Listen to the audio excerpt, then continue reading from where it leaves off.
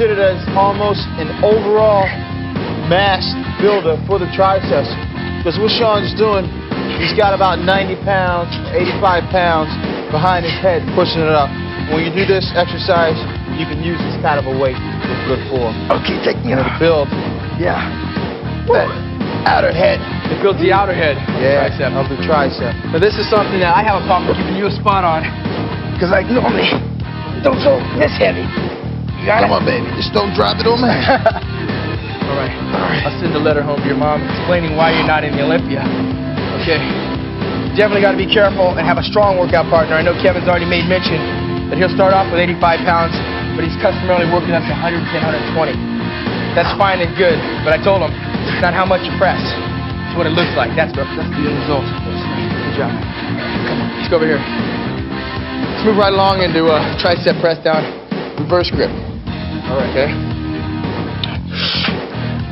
Now, what head of the tricep does this hit, Shawn? This is basically the outer head, and usually when I'm doing it hard, getting ready for competition, there's no way, I don't have any room to talk, you know?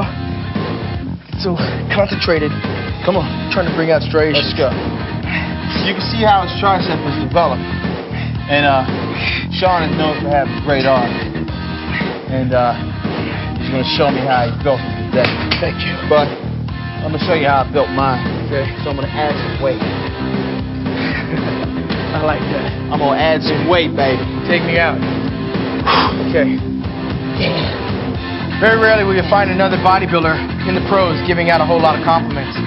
But you can't help but give out compliments to your competition because they worked hard to get there. I respect Kevin for even showing up for the workout because there's a lot of egos in bodybuilding and we're both trying to win the same prize in bodybuilding. That's the Mr. Olympia title. But there's room for everybody, I think. Good job. Let's go. Training hard as you will. Hard as you are training. Yeah. And it should be no problem. Let's reverse our You to grip. hit your dream, baby. Yeah. Let's reverse our grip. Come on. Well, this is where it starts, you know? Yep. Can't play when it comes to working triceps. You got to add the weight. You got to always have good form. Notice Shawn's form is going down. He's squeezing that muscle every rep. And that's what matters. But again, he's doing it too light. All right. but I'm learning, you know. So I'm going to crank it up just a little bit. That's why you're here. Just a little bit because I'm excited. I'm training with Shawn Ray. Let's go. Well, I don't know about you, Kevin. I've seen you in the magazines over the past two years. But remember, I've been there the last five. So, I can't. I've been where you're going. We're both going to the top. Let's go. Good job. Now, the difference in that grip is that uh, when you go with the reverse grip, it's more of an isolated, concentrated movement. You can't use as much weight. You turn it around, you pack on the pounds, and that's when you're going to get the development on the tricep as far as size. So the other one's basically for cutting and shaping. Right. Let's go through this one more time. Hand me this 85. All right, Shawn. You know, you take a world class champion like Shawn Ray. This is a guy that I admire and read a lot of his articles in the magazines. Of course, Flex magazine for many a years. He's got experience on me, But I'm here to learn, Yeah.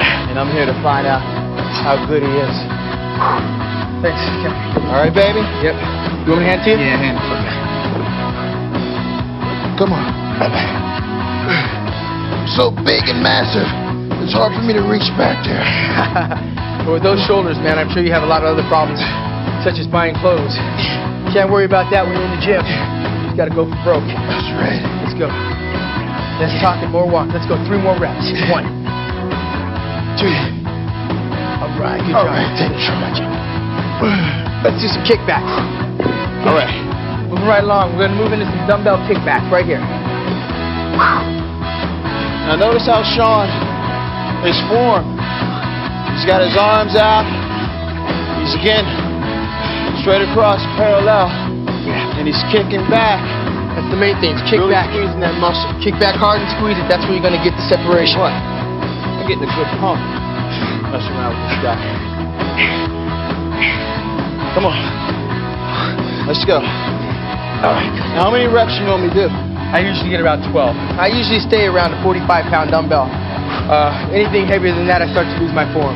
All right. And again, that's where the difference in poundage and shape and size come in is No matter what you're doing, how much weight, form is what's going to develop the muscle. Kevin's noted for his tricep development as well as his shoulders. So that's one of the reasons we brought him down here today. And what he doesn't know is I'm going to use everything he's showing me here today against him.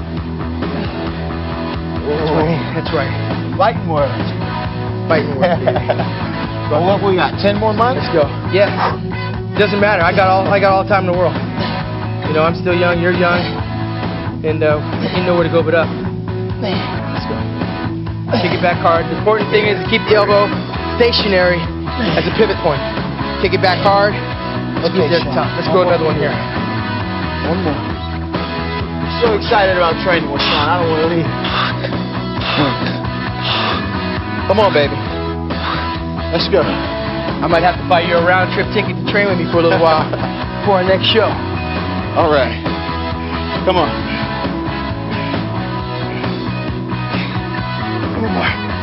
Shawn, you're making it look kind of easy. We'll get to You're the heavy back on me. Yeah, I'm holding back. for You're holding back. Come on, let's go.